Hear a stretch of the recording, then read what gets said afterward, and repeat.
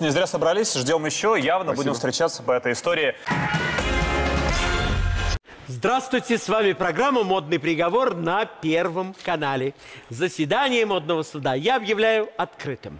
Сможем ли мы и на сей раз узнать нашу